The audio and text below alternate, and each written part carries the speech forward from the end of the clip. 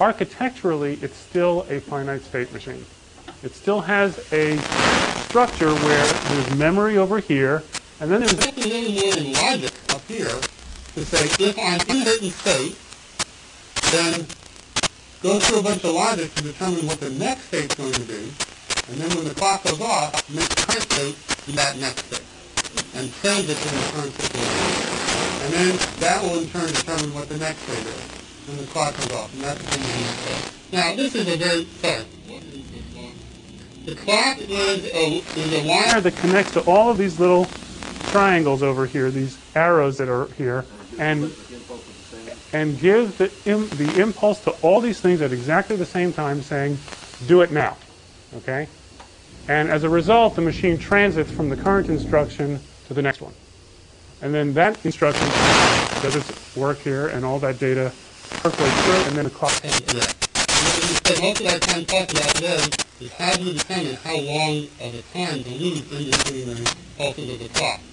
And as you know, for chip manufacturers, that number, how many megahertz the chip runs at, says, you know, how fast, how often you can clock it in a second of time, matters a great deal. And so you have a gigahertz, for instance. is the current sort of level that chips are at, or 1, 1.2, 1.4, even 1.5. So the general structure of any finite state machine, including the computer that we've been looking at, the beta, including every computer that's been made that is a digital one, looks something like this.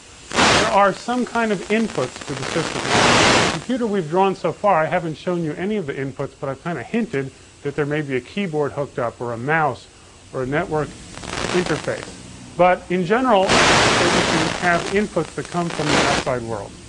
They also have outputs that go to the outside world. And again, in our computer, we haven't talked about where the output shows up. It might show up on the screen, for instance. Or if it was a different sort of finite state machine controlling an arm, it may make the arm move. All sorts of things like that. And what we have talked about, however, is this cycle on the inside. There's an idea that the machine is in a current state, in other words, how it sits right now, described by a truth table, that current state is the next state be. The current state is from the outside might be, for instance, oh, Can we try general oh, are we getting interference? There we go. How's that? Testing one, two, three. Same thing? Uh, must be from the work they're doing or something. Okay, well, uh, sorry. Uh, there, right? Um, if I stand a little bit closer does that help? No, okay.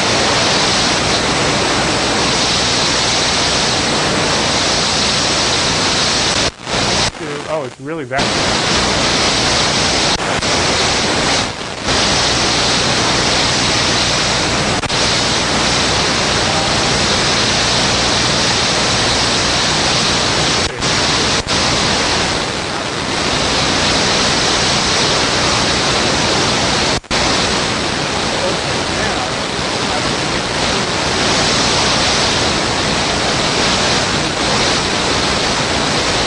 Now, I know that this is a little bit difficult to grasp all at first, so let's do a machine which you will never see at ArsDigita, but uh, which actually does exist in the outside world. Free. But, so, that's my actually, before I was uh, 15 cents. And, um, let's assume that we want to build a very simple finite state machine, which is a Coke machine, and it only accepts either nickels or dimes. And thus, the FSM has the input, uh, one of the inputs to the FSM is a thing saying that it's gotten a nickel. Another input is a thing saying it's gotten a dime. And what that means is that there will be a 1 that sort of pulses high and then goes back down when you put a nickel into the machine, or a 1 that goes up and then back down when you put a dime into the machine. What are the other in inputs that this thing might have? This is a very simple machine. It's only going to have one button, which is going to say, give me a Coke. Okay? Sort of made for nerds here. And then finally, it will have another one saying, whoops, I've changed my mind, and it has, given me my money back. And those inputs are all going to be combined. So here's these four bits. And they're going to go into our logic, and I'm going to call this combinational logic, like I did in the last slide. And what that means is that it's just logic that's described by a truth table. And this is input. And we're going to have a memory that's going to be the state memory. And that state memory will put out, and I don't know how many bits it's going to take yet, but it's going to put out what we're going to call the current state. And what the machine's job is, is going to be to remember the current state, consider the input, and on the basis of those two pieces of data, the logic table will tell us if I'm in this state and the input is such and such, what should the next state be? Okay, so for instance, if there is a state for giving all the money back, when the return line comes in, it may say go to that state. Okay, and then this state memory in turn will be triggered by a clock signal that goes up and down. And we're going to say during the upward transitions from 0 to 1 of the clock signal over here is going to be when we're going to make the transition from one state to the next. And then, of course, since it's a Coke machine, it needs some output. And it's going to have the following outputs. It's going to have one saying drop a Coke, right? Another one that says give back five cents, return 0.05. Another one saying return a dime, and another one saying return 15 cents. Now, we're not going to make the machine very complex. In other words, we won't have it actually count out nickels and dimes. We'll just assume that there's other logic beyond here that when it's told to return 15 cents, it figures out how to give a nickel and a dime, okay? So there will be four outputs as well coming out of this thing. And so this is the structure of what's going to be inside of our little controller for the Coke machine. Now, how do we actually describe how this thing works? Well, I happen to know the answer to this thing that, in fact, it only takes four states to do this. So let's actually draw the four states here. One, two, three, four. Okay, now, when we first plug the machine in and turn it on, it needs to be in some kind of a starting state. Okay, the machine is first powered on, and hopefully that state will not be a state that starts dropping cokes out of the machine, nor will it be a state that starts giving money back, right? So let's just call this the initial state.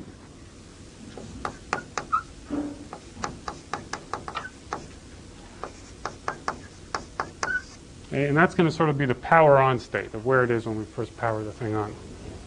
And then the question is, if we're in that initial state, the power on state, what sort of things might happen?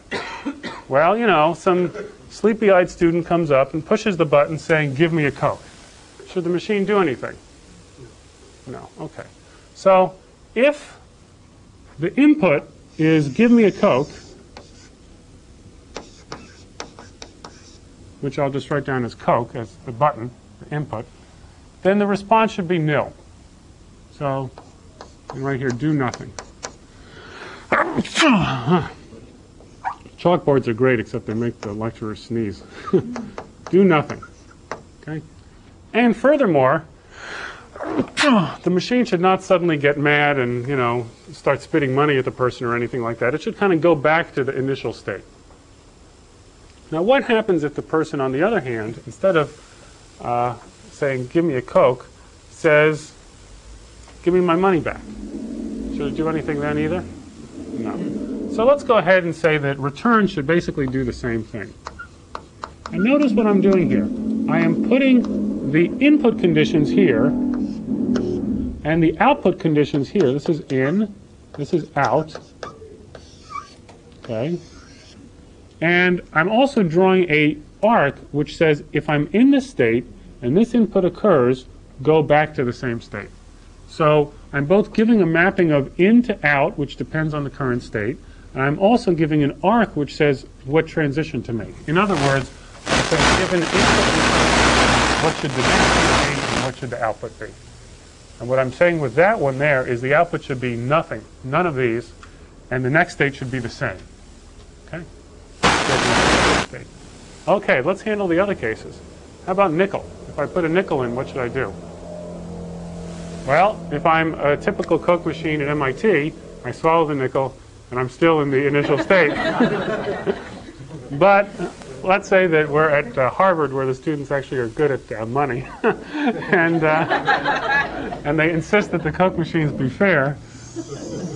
Clearly, what we want to do is if the nickel input comes in, then we want to remember it. We want to be a different Coke machine than we were before the nickel came in, and we want to change state. And I'm going to label this state, I got five cents. And I will remember that I have five cents, which is good. Now, do we want to do anything on the outputs? Do we want to give the person a Coke? Do we want to do anything? No. Okay, so we do. Ah, we, that's absolutely right. But in this case, we're assuming that he's only pressed the nickel button here. But if we're in this state and the person presses the return key, like you just said, then what do we want to do? We want to return a nickel and we want to go back to here because he said that. So if they press return as the input, we want to return 0.05 and we want to go back. So again, this is the input condition and this is the output command. That make sense? Good. Okay, what if we were in the initial state and the person put in a dime? We clearly want to remember that, but we don't want to remember it in this state, so we need another state. So if they input a dime, like here, that was one of my inputs, right? Dime. We want to, again, do nothing as an output. But we want to remember it differently, and we put it in this state saying got 10 cents. Good. I think that we've handled all four possible button presses that could happen going from this state. Now, if I were really being careful designing this Coke machine, I would actually have to say, what if he presses return and puts in a dime at the same time? Because that's actually a different combination of inputs. Remember, there's four bits here, so it's not that there's four com combinations. There are, in fact, 16 different things. But I'm going to make it, you know, and it actually used to be the case that if you pressed give me a Coke and give me my money back at the same time, and you got the timing just right, the machine would give you both. Okay, it's actually true. Okay, my uh, my old uh, thesis advisor at MIT actually taught me how to do that. Uh, those are the good old days. Uh, question authority, right? You know. But I'm going to assume that that inside of we're going to put a mutual exclusion circuit.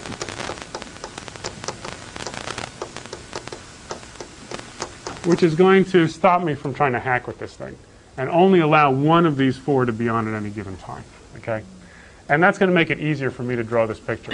Because instead of worrying about 16 conditions going out of any given state, I only need to worry about four. Okay, and that'll just make the class a little bit easier to teach. Now, if I've got five cents and the return key goes on, we know to return this. If I've got 10 cents and the return goes on, over here, return, comma, return a dime. Okay, that's good.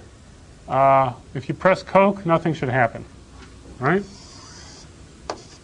This is Coke. Nothing should happen. And I'm just going to leave it blank. Same thing here, right? If I press the Coke button, nothing should happen. Is there anything else I need to do?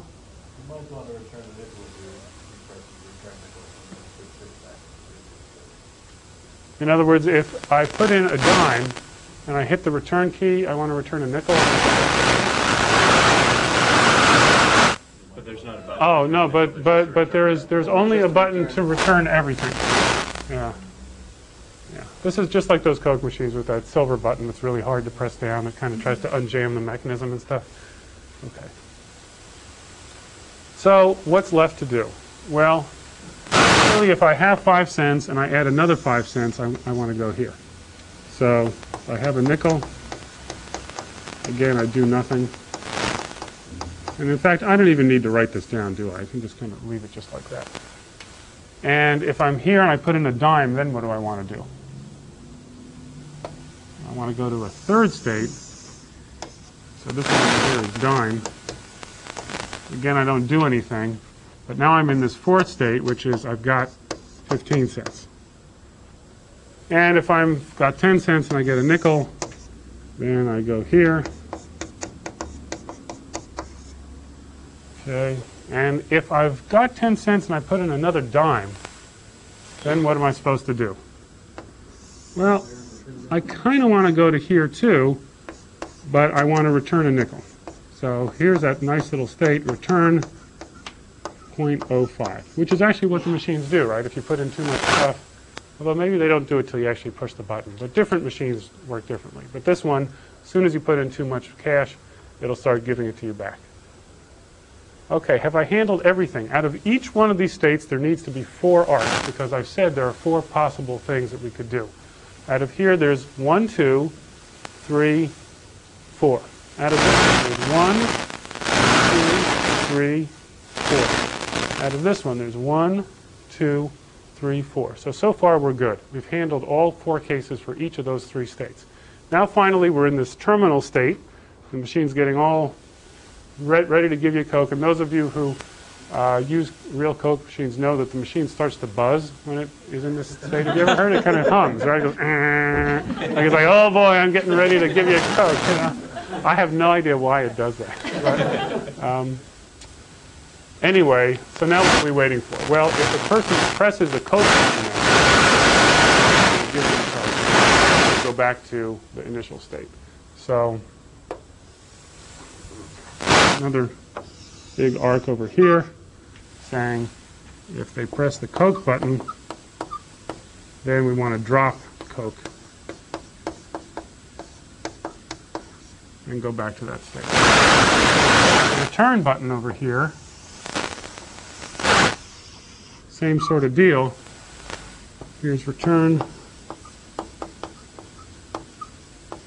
And we want to give them 15 cents back right? Return 15 cents.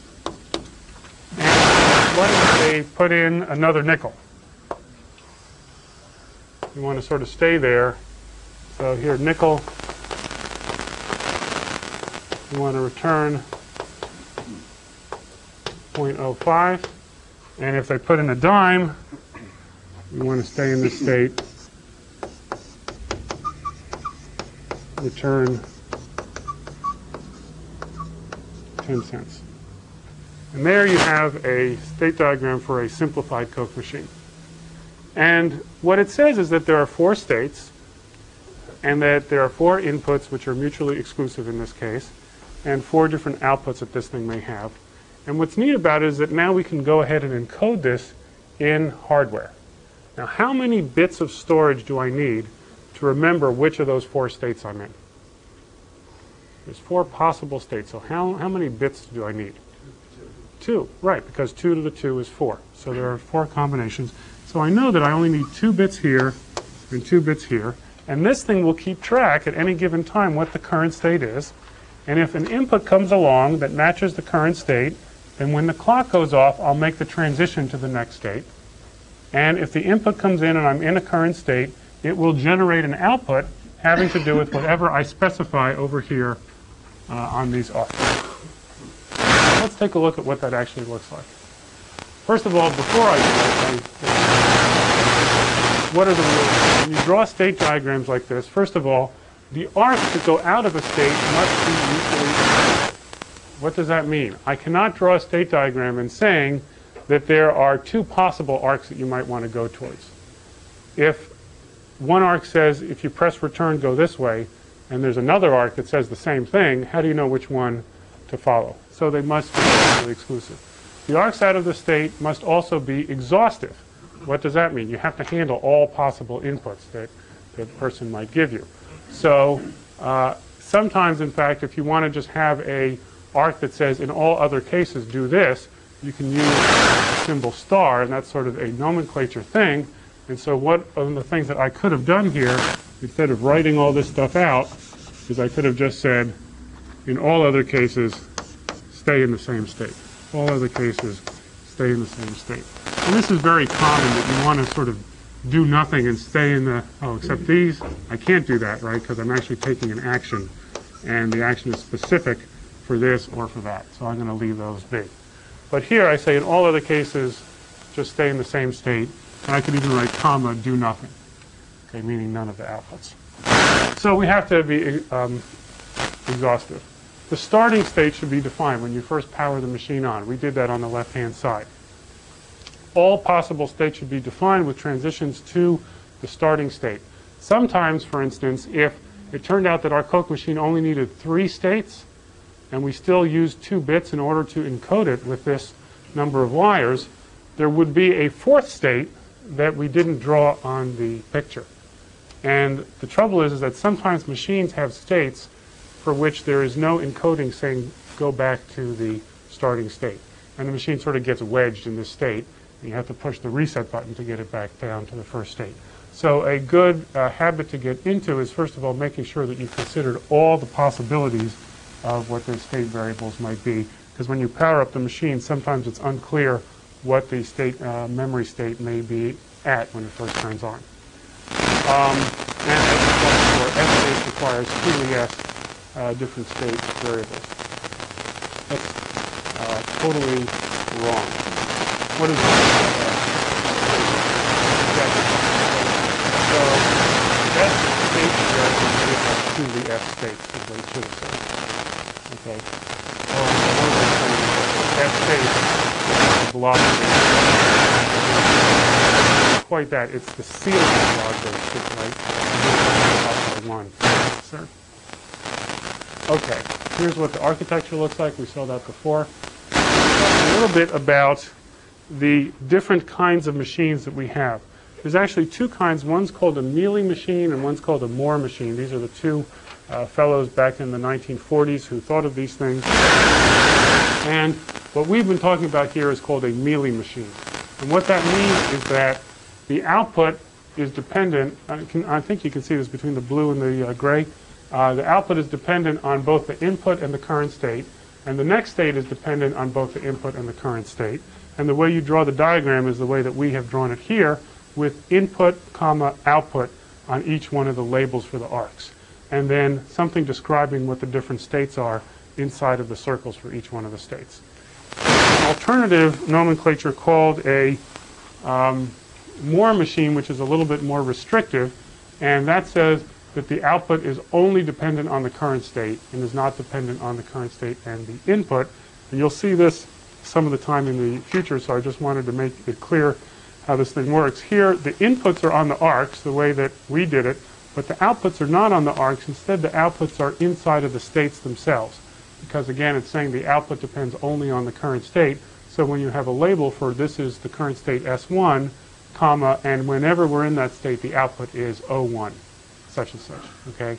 So it just says the output only depends on the state, not on the state plus the input, which is going to give us this arc.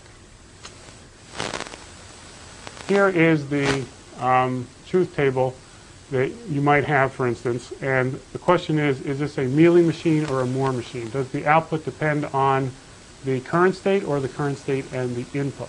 So here we have bits of current state. Here's the next Does the output depend on just the current state or the current state and the input? Well, from what we see so far, it seems to depend only on the current state, from what we see in this picture so far. Okay. Oh, whoops. You're right. You're absolutely right. So this is wrong too. I'm sorry. Huh. Moore machine. Wow, there's a several hundred MIT students that got this wrong. Yikes. Um, we can draw these state machines a little bit differently too. Uh, one of the nice things to do is to try to separate out the function that's in blue from the function that's in gray and say that in fact, we take this over here, in two sections and such. And if you look at it, it's actually exactly the same thing. We have logic. Two outputs here.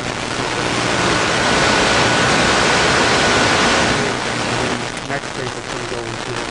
And then we have separate combinational logic on the output, which takes Q and generates it out. And the difference between a Moore machine, which is this type over here, and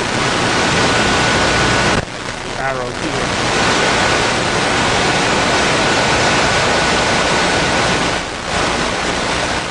Okay, now, enough about sort of an introduction to FSMs. What I want to talk about now is why do we need that register down at the bottom at all? In other words, why can't we just take state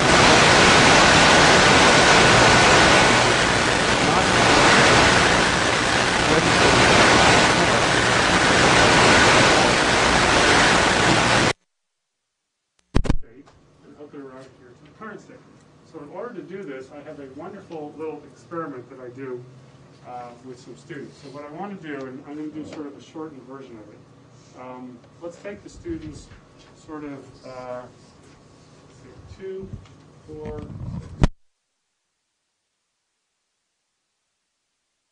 guys, you guys, you guys, and you guys too. I think we may have one extra, but come here and form two rows of four each. Okay? I'm going to make a state machine out of you.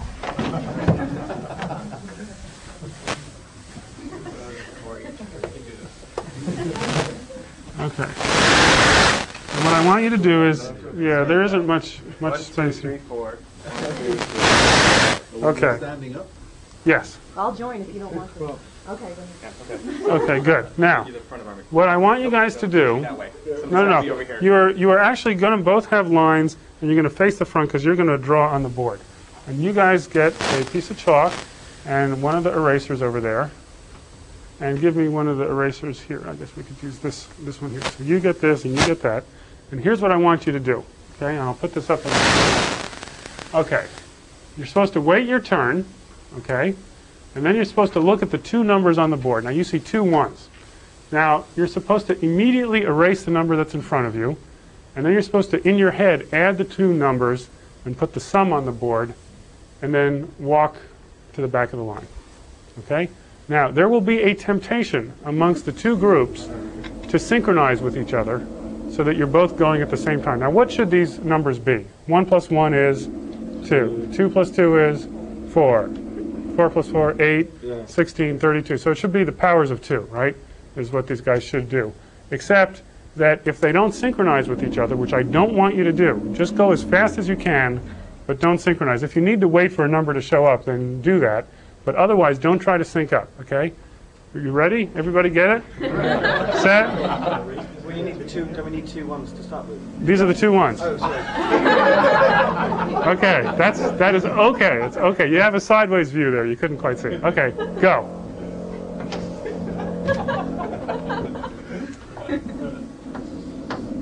Ah, good.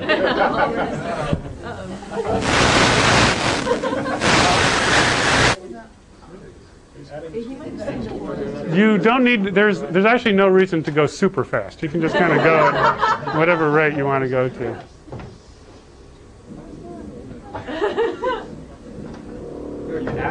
Yeah, but he. You should, you should, you should add the numbers and don't try and cheat. Don't look ahead or anything. Just add your number with the other number. And you, you guys go as fast as you can. See, people always tend to lock up. They always are nice. They wait for each, each other. Oh, good. Okay, so now the numbers are getting big, and I think that we can actually actually stop now. So, what what obviously happened is that we did not get the powers of two. Okay, wait, you aren't done yet, guys. Come back. Now we're going to do it slightly differently. We're going to do it a little. Do you still have chalk? You have chalk there. Do you guys still have chalk? No, wait, wait. so Okay, let's- here. Let's get it here. Okay. Let's put two ones back on the board. Okay. And this time, I want you to wait for me to say go each time. In other words, I'm going to be the gate that enables the next step in this FSM. So don't Each person don't go till I say go. Go. Now you guys wait. Okay, we all settle down? Okay, go. Now I wait till the logic settles down. Ready? Go. And obviously, okay. And of course, what happens when I do this at MIT is that the students now write stupid numbers up on the board that have nothing at all to do. Go. Okay, that's that is good. Okay, you, you guys are much nicer than my usual students. they who always manage to making the other case work and this case not work. But you understand what just happened here.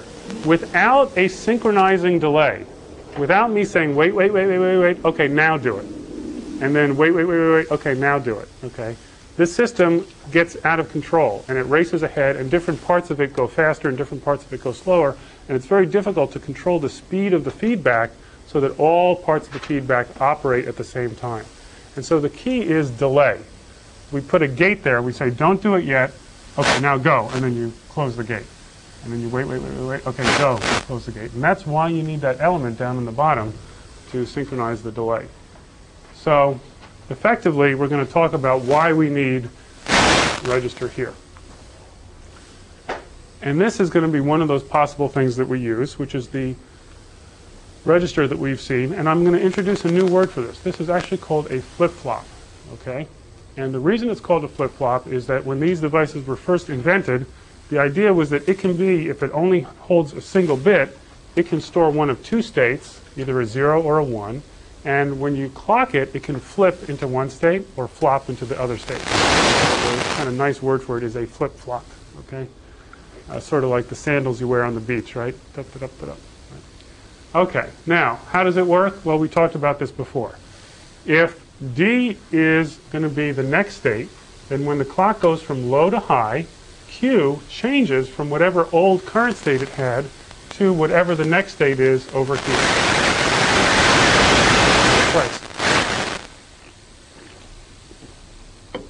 The thing we're going to talk about for the rest of the lecture today, however, is exactly how much time it takes. And we're going to talk about some of the details of the timing, which to some extent are going to make your head swim. Okay, but don't worry, we're going to do it again in the next class, and it'll become a little bit more clear. In that diagram, Yes, what's the meaning of the... of these hash bars. That's exactly what we're going to talk about now. Okay? Now, logic levels cannot instantaneously change from old to new. When we were writing numbers on the board, what happened? The first thing that happened is that we needed to erase the old one. And for a while, the board was blank. It had no data on it at all. And then the new number got written down. What's happening here is that this is the old value of the current state. It gets erased, and we can't read what it is. And then the new value is written. Okay? And this is exactly the way that registers always work. So, what we say in the,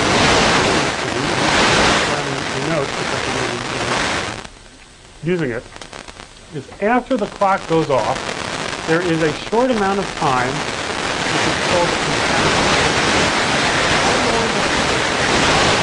go, and when you guys erase the numbers from the board.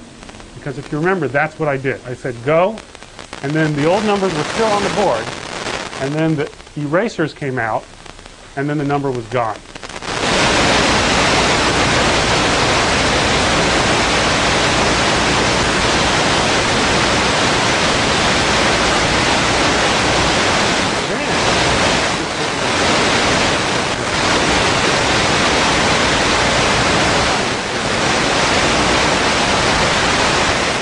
That's good time for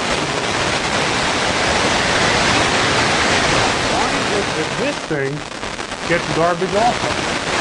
Well, right here, this value Q, the current state, switched from its old value to. And then finally the new value popped up. Well, if you think about it, that signal saying old value, garbage, and new value went into this logic here as well, into the head of the next person in line. And the logic, just like people, cannot compute instantaneously. It has some delay as well. And so that signal was delayed, saying what the next next state is, and that's exactly what here. Time is going by on the x-axis, and so 2 goes from having its old value being erased. A short time later, d goes from the next state to being some intermediate thing that we're not sure of. And then finally, when this thing settles on what the next state is going to be, a short time after that, that combinational logic produces the next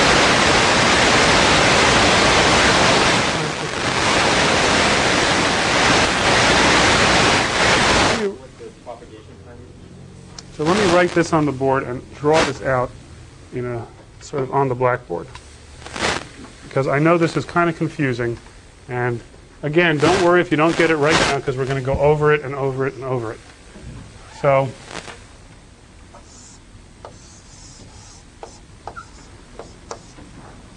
let's see, this is being drawn as D and Q.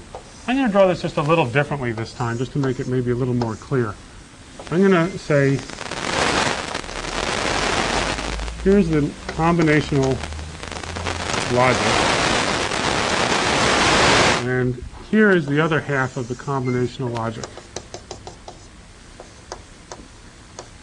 In other words, this, this thing is a loop, but I'll unwrap it to make it a little more clear. And so this edge here is the same as that edge there. And here's the clock that comes out here. Okay? So now let me draw a little timing diagram down at the bottom. Here's the clock, and here is D, and here's Q. So the clock goes from low to high, like so. Okay? And I'm assuming that the D value is going to be stable around that time when the clock goes from low to high. It will either be a high or a low, and there can be many bits here. So all I mean is that the bits are all set up. The Q, after the clock goes from low to high, a short time after that, what happens first? The first thing that happens is the Q, which also used to be either a high or a low, a short time afterwards, Q goes from that high or low value to an intermediate value, which we don't know. In other words, the old value of the current state is erased from the board. And this time between when the clock goes from low to high and when Q starts to change is called the contamination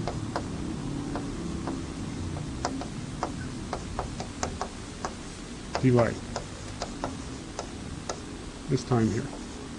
How long does it take to contaminate the signal between when the clock goes off and signal gets messed up? Is is that the way the, the, the length of the arrow on the right side? The arrow that I'm making here, or do you mean this arrow? The horizontal? No. It has nothing to do with how long this wire is, okay? What it is, is inside of this box, there is a process which takes place. I'm assuming the wire is very short. Okay. There is a process which takes place that always, when this clock goes off and it says take the picture, it's like a Polaroid camera, right? You take the picture and first you get out this thing that's white, right? A short time after the trigger goes off. And then after a while, it becomes clear what the picture is. Okay, so this is sort of the developing time for the picture. The time and then put the new one on. And during that time, the board had nothing on it. And during this time, output here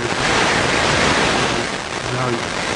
After that, then the value finally settles down into a snapshot of whatever D was when the clock went from low to high. So this value has its picture tape taken and becomes what Q is over there. And what we're going to talk about for the rest of the class today are the specifics of the timing of how these pictures are taken. The shutter is snapped. For a short time after the shutter is snapped, the old image is still there. It takes time for the logic inside of here to say, oh my God, the clock went off. Okay? A short time after the clock goes off, it says, okay, I've got to change the picture from the old picture to the new picture.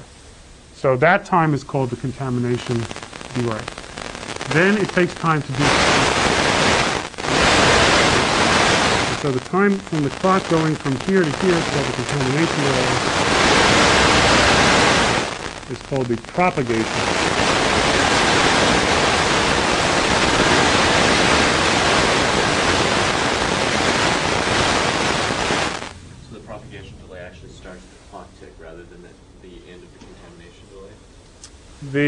Propagation delay, both of these, yes, it actually, they both start at the, at the edge of the clock tick. Here's, here's a way to remember this, okay? The contamination, excuse me, the, the contamination delay, which is actually usually quite short, is the time to get pregnant, okay? This is, I'm serious, okay? The, this, this time here is, is the nine months, okay? Which is longer, uh, usually. Uh, and uh, the propagation delay is actually the time from when you want to have the kid to when the kid pops out, okay? So, you know, that, and if you can't remember it with that trick, there's no hope at all, okay? but that's basically how, how the thing works, okay? Because, again, the circuits have no foreknowledge of when the clock is going to take place. And so it takes them time between when the clock goes off to begin to make the change. Then it takes some time for the change to take place, and then the change is done. And if you think about it, there could be no other way that it could work. Okay? Now, after the output Q gets contaminated, that contamination begins to filter through the combinational logic over here, and so a delay through here, which is actually the contamination delay of the combinational logic, is the time it takes for the contamination to hit here. And so this also gets contaminated a short time after that. And so let me write that kind of like this. And so at the time from here to here, this is the contamination delay and propagation delay of the flip-flop. There's another time here, which is the, and I'm just going to write this now with the actual symbols that we're going to use, TCD for time contamination delay of the combinational logic. TCD of CL between when the input to the combinational logic is contaminated, which is this thing here, and the output to the combinational logic begins to be contaminated as well. And then, after that, finally this settles down. And notice, this is the next state. This was the current state. And what this did is it made the next state, made the current state equal to the next state. So therefore, this thing that's being figured out is the next, next state. Okay? And so how long that takes is from the time that the input to the combinational logic over here is good until the output is good, and that's the propagation delay of the combinational logic. Okay. T with a sub with a sub. It's T with a sub with a sub, and I know that it's hard to see, but it's T sub PD sub CL, and this, another way of writing this here, is T sub CD of FF. And here, this is propagation delay of the flip-flop and the contamination delay. Contamination delay is the time from when the input changes to when the output starts to change. And then the propagation delay is the time from when the input is all done to when the output is all done. And in the case of a flip-flop, we measure, measure both of those from the clock edge. And in the case of the combinational logic over here, measure it from when the input begins to be contaminated. So let me see if I can get this exactly right. Current state is over here. TCD of CL happens between here and here. TPD of CL happens between here and here. You don't need any stuff. um, I just gave out. Have you guys gotten that yet? This is all. Um, and the problem set will include some good definitions of this stuff, so it'll become clear. And again, this is the first time I'm showing it to you, so don't. The students at MIT have a. We're going to go over it and over it and over it and over it. But I wanted to get started anyway. Okay. Yeah. Make something go horribly wrong inside the combination logic? When the garbage value in Q That's a great question. Words. if you're looking at the board and you're trying to add, and all of a sudden the number disappears, why does smoke not come out of your ears during that time, Or, right? Like, accidentally the value that came out was the value that said shut my machine down. Right. Well, but the combinational logic doesn't have the power to do that. All it has the power to do is to come out with an output. And so when contamination, when there's gar- garbage, so what you're asking is during this time, combinational lo- logic. Here's the Q value. During this time, there's garbage going into the CL. Why does the CL not go nuts and overheat and do bad things? And the answer is, is that the combinational logic is built in such a way that it can handle it. If the input is good, it generates good output. If the input is good over here, it generates good output over here. And if the input is garbage, it generates garbage. Okay? And that's just the way it works. Because it's good.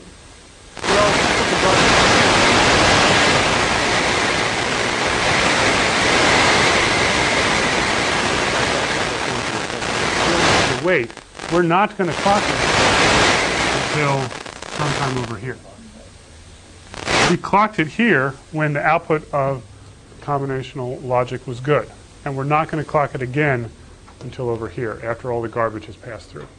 And if we did clock it when the garbage was going Then the machine would jump into a random state, and you'd get the blue screen of death, and Windows would crash and all that. We're going to talk a lot about how to prevent that from happening. make another feature. Yet another feature. Very next thing that we're going to talk about. How do we decide when it's safe to run that clock back up again? Notice that that clock went from low to high when the next state was nice and stable. Now we want it to go from low to high again when the next next state is nice and stable. And how do we do that? Well, the times depend on the circuitry or on other factors? I mean, would like a high signal tr- travel through faster than Ah, that's a signal? great, great question. In fact, highs and lows do travel through at different rates. And when the circuit's hot, it works a little differently than when it's cold. Okay, it's usually a little faster when it's cold than when it's hot. Is just is how it works. The length of the wire matters a great deal. And so, in fact, uh, it turns out that the numbers that are given in the books that specify what the contamination delays are and what the propagation de- delays are are worst case numbers. And so the contamination delay, which says how soon from garbage in to gar- garbage out, is always given as a minimum number. How soon could this happen? And the propagation number, which is how long does it take between good data going in and good data going out, is given as a maximum number. At most, how much could this take? And it's given over the entire range of temperatures and data values. Okay, so for any data value and any temperature within range from minus 20 degrees C to plus 100 degrees C or something like that. And turns out that there are different uh, specs depending if you build parts for the military, for the home. There are different uh, types of uh, specs for those things. These are always given in terms of worst case. Okay? And the clocks are adjusted accordingly. And when you design the system, you decide how to clock it uh, exactly by that. So when you buy a chip, for instance, and you overclock it, some of you have heard about doing that, you turn the clock up. What you're doing is you're saying, well, you know, this was designed to run up to 75C, let's say, if it was meant for the home, which is pretty darn hot, but that's on the surface of the die, of the chip. Uh, I'm going to assume that it's going to be cooler than that, and I'll clock it a little faster. And the answer is, well, probably if you allowed that thing to get real hot, it would then fail. Okay, so that's absolutely right. Okay, what's going on here? It turns out that, yes, Don't you have the same problem with the clock, with knowing when the clock? Absolutely right. And we're going to talk about that too. The clock may fire at the wrong time too. And in fact, the oscillator that generates the clock is not perfect. And there may be some jitter. The amount of time it allows from one clock to the next may be somewhat uncertain. And in fact, the oscillators that you buy have specs on them by how much the clock may be off. The clock may run fast, the clock may run slow. And actually, the clock itself, as it makes its transition from a logic low to a logic high, takes a little bit of time. And during that time, you're uncertain what the clock is. And we're going to talk about that too. Okay? So everything is uncertain, but luckily there are bounds on all of these things. And so you're going to get into how all this stuff works. But let's first of all talk about this business of taking a picture of the data. So it's really great because the questions have led directly to this thing. When can I next make this clock go from low to high? I know I have to wait till the next next state comes out here because that's coming in on D, and that's the next time that I can tell this thing take a picture of the next next state. So I basically want to, I, I can drop this clock down whenever I want because it doesn't listen to that. But when's the next time that I can make this clock go off again? And I know I have to wait until this thing comes in, but can I clock it right here, right when the next next state first gets there? Or should I wait a little while for things to settle down like I did here before I say go? And you remember I waited till everybody sort of settled down, right, and everybody was happy. I said, okay, go. And I in my head was doing that. Well, it turns out that in designing these things, there is a technique that we use and a set of specifications around the clock edge of these flip-flops, of these registers, with a time of quiescence, a time when the D input, the data in- input, is supposed to stay stable. And that is called the setup time and the hold time.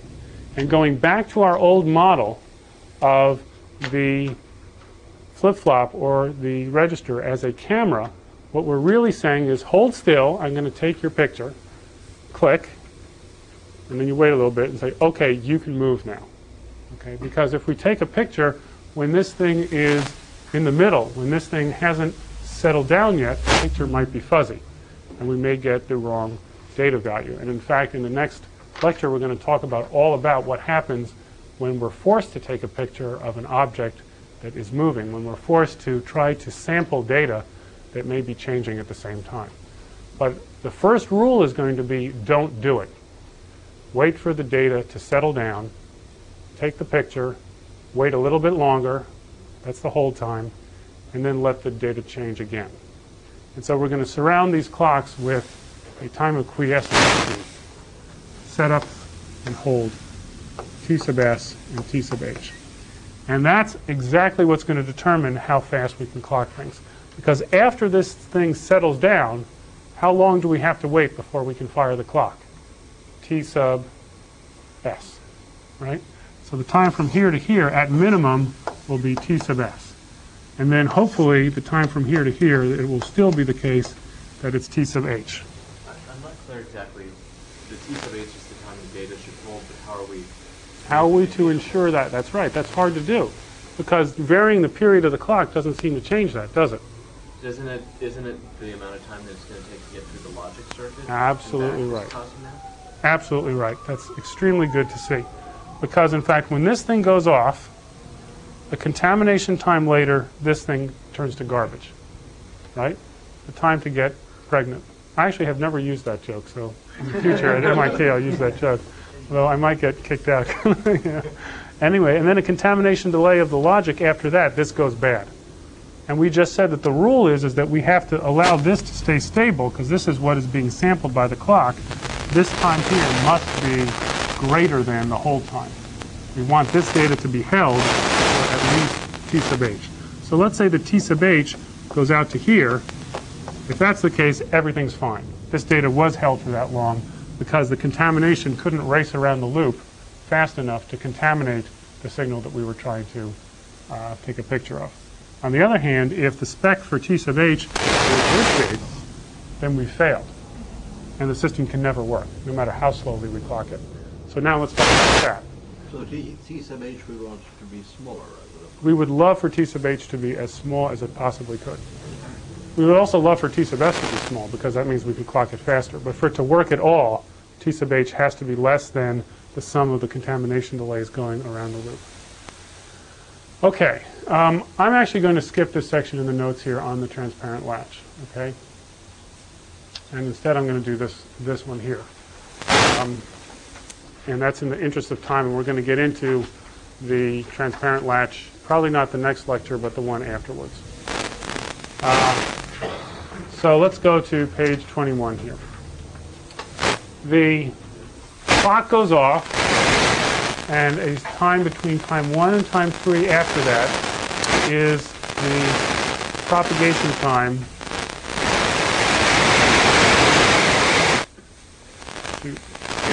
Okay. Unfortunately, I have to tell you one other thing. which is the following. TPD min is equal to TCD. TPD max is equal to TPD. So it turns out that in this subject, which we've taught at MIT for a long, long time, we use this term contamination de- delay, T sub C D, what I mean, contamination delay, and we use the word propagation delay to mean those two things that we talked about. The industry actually uses slightly different terms. Prop, the minimum prop propagation delay and the maximum propagation delay. So the minimum propagation delay is the time between when an input goes off and the output no longer has the old value. The minimum time to propagate from here to here. And the maximum propagation delay is the time from when the input goes off to when the output is good with the next new value. So you're going to see terminology, unfortunately, here in the, in the slides, and I don't want you to get mixed up between TPD min and TCD and TPD max and TPD. What I meant in the pictures here is actually the same as what we showed here. So let's take a look at what this shows here. Uh, the time from time one to time three is from time one to time four is TPD max. The logic itself, here's logic, is from time three when uh, the logic input to time five when the logic produces a contaminated output, and that is TPD min of the logic. And TPD max is the time from when this output is good over here, time sub four, until this output is good over here, that's time sub six. So the time between four and six. What do we have to ensure in order for this thing to work? Some of the contamination time. Is the logic, uh, the time for the flip-flop between the clock and the Q here. And we also have to ensure that that is greater than the time of the flip-flop. So what are we saying? We're we want to make sure that if this is the input to the flip-flop, that this is contaminated before that hold time, T sub h, has expired. All right, second constraint is that the clock period has to be more than the sum of the propagation. In other words, the clock goes off. We have to wait for the propagation time from the clock to the Q output of this thing, between when the clock goes off until when this is good. Then we have to wait for the propagation delay of the combinational logic, between when this becomes good and this becomes good over here. And then we have to wait, once we've arrived back here again, we have to set up for the setup time. And only after those three periods of time have passed can we fire off the clock a second time. And that's exactly what we saw over here. We have to wait for the TPD of the first chunk, TPD of the second chunk, plus clock a second that will how fast. Wait for the data to go from here to here, wait for the data to around to here, and then stay here for T sub s, and then you can clock this a second time. That was the constraint on the clock, period. Again, the constraint on the whole time is make sure that the data doesn't race around here, the contamination doesn't race around the loop faster than the amount of time we expect this to be held after the clock goes off. And that says that the sum of the contamination delays, or another way of saying it is the sum of the minimum propagation times around the loop has to be more than the whole time. Alrighty. So all these times kind of the same order on magnitude, or is like some something? Well, when you design flip-flops, you often set the hold time to be very small. So you set T sub h, some cases, to be zero. And the setup time is usually the bigger time of the two of those. Um, the propagation times tend to be bigger than the contamination times because, you know, the pregnancy takes longer than getting pregnant, right? So, uh, and you have to get pregnant first, right? And you measure it all from the same time. So, uh, so that's also true too. Uh, okay. Let's take a look at the final question which was asked, which was clock skew. Okay. We've shown a system where all the registers are on the bottom at the same time. But is that actually the case? The clock isn't perfect. The wires are not perfect. The parts inside of the register are not perfect when they perceive the clock on the input. What would happen in a system if certain parts were clocked before others? In other words, let's do the, you know, let's not actually do it, but in our minds, let's do the experiment where instead of me telling each one of the folks here, go, and they both went, there was actually some skew between their perception of when I said go. In other words, the guys on the right had a long tube going to my mouth, and the guys on the left had a short tube. And I say go. And the one on the left, three seconds later, the one on the right goes. Would the numbers still go up in sync with each other the right way? No. Well, let's assume they're both seeing the numbers perfectly. Last time they looked at it is actually, even though they until I say go. In trouble. Clock skew, the fact that the clock doesn't have all the parts of the system at the same time, is going to make this timing more difficult to get. And so, in fact, uh, you need to take into account this clock skew as well. The clock. In general, the contamination delays have to be greater than the hold time.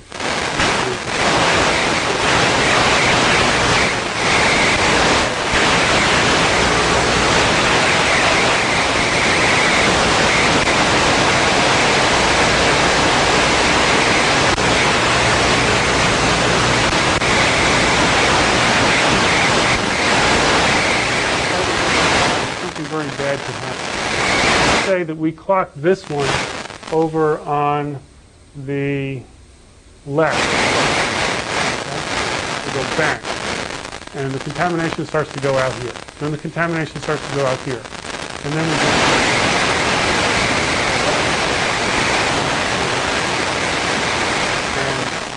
the input will be contaminated before the hold time. In general, what you do with these skew times is you figure out what's the maximum skew in between the two parts, and you set up the constraint so that the margin is greater than the skew time. And if this is true, then you can be sure that everything is fine. In other words, if the difference between the two clocks is bounded by some number, so that the amount of safety margin that you have between the margin. You also add that margin as well to the um, amount of time in between the clocks. A little bit of skew between the two people that I was saying go to. I'd shift this clock out a little bit more to make sure that all parts of the system were settled down before I said go. Now, let's just, in the last few minutes here, handle a few things having to do specifically with the Coke machine. Um, in general, logic that you design, and gates and OR gates and things like that, itself has uh, a contamination delay. And you asked the question,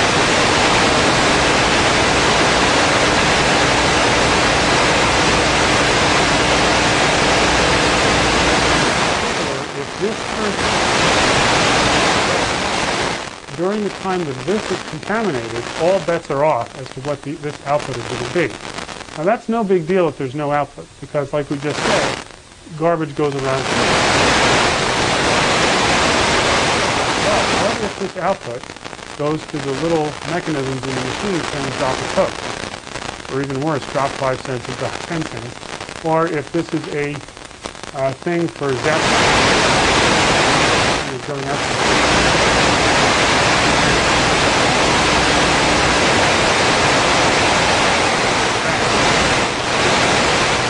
start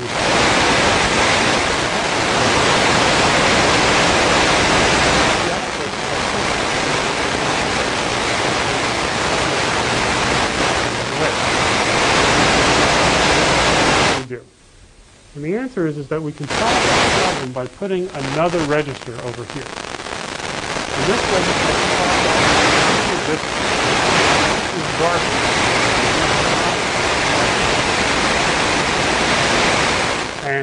This output will not get changed when this thing is cleared. The only time that this is going to get changed is right after the clock goes.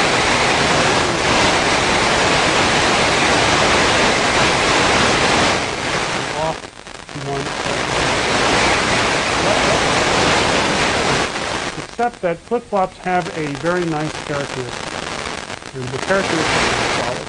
If the output was zero before the clock goes off, and the output is going to be zero after the off. In other words, if the new picture is the same as the old one, then it turns out that during the contamination time, a flip-flop actually holds the zero as well. Okay? In other words, if I take a picture with the camera, right, and then I take another one and the picture is exactly the same, during that time where it's developing, it still has the same picture. And so how this thing solves the problem is if the old output had a certain value and then got contaminated and then got the same old value on it again, then when we take the picture of the new value that's coming out here, if it's the same as the old one, the output here will never change and you won't see the glitch at all. It's only when it's changing from one value to the other that it goes through this intermediate time where the picture is uh, developing on the output that we actually see trash there. And so this kind of a circuit here can actually de-glitch the output and ensure that it doesn't drop a Coke by accident. Okay? And that's used inside of these machines all of the time. If you do change state though, you do get a short period of. You do get a short period of trash. And we're going to talk about how to encode the data here so that you don't misinterpret the trash as the wrong thing. I know this has been sort of a whirlwind uh, tour here of how to do timing on your system. Do not worry. We're going to do this a lot more, okay? And it'll become really much more clear. But since this is done in a sort of a top-down way, you sort of had to see it at first. And so that's kind of been why I've this just kind of goes over what it is that we did. Okay? And it'll become a lot more clear, particularly in the problem sets that you're going to do next week, just exactly how this stuff works. And then we're going to talk about how to actually build the inside of this register. And what's really cool is you're going to see where the timing delays actually come from. And that's going to help you understand it even more. Okay? Thanks. And I'm sorry if I've mixed you up, but it had to happen.